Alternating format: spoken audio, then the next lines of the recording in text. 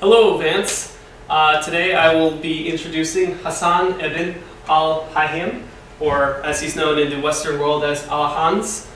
Um, he is a incredibly important scientific figure in the Islamic world.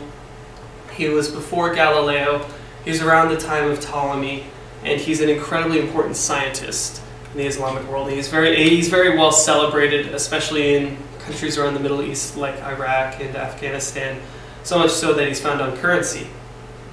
And uh, I would like to propose to you to add Hassan ibn al-Haytham, or Alhazen, to the uh, Dimensions of Nature curriculum. So let's begin.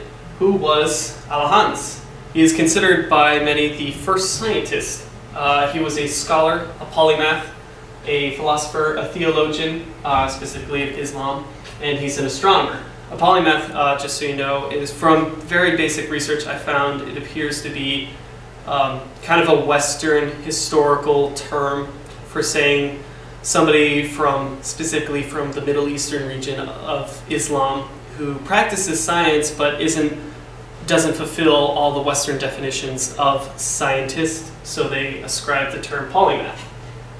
So he was born in 956 AD in Basra, where uh, in the region where we now call Iraq.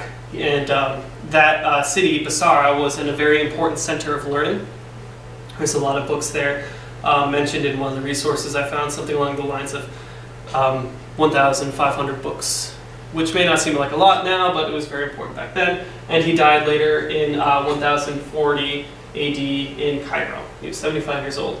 So um, along with his very uh, along with his many scientific achievements, he helped.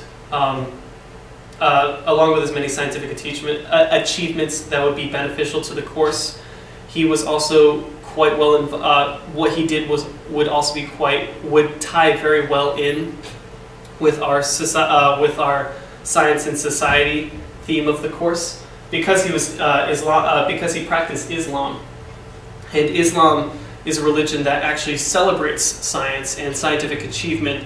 And um, he lived in the uh, what is called the Islamic Golden Age, which is um, a period of really uh, strong mathematical achievements, strong astronomical achievements, um, even medicine achievements, and um, he is considered one of the one of the best scientists from this time. So he would be a great representative of diversity in this course.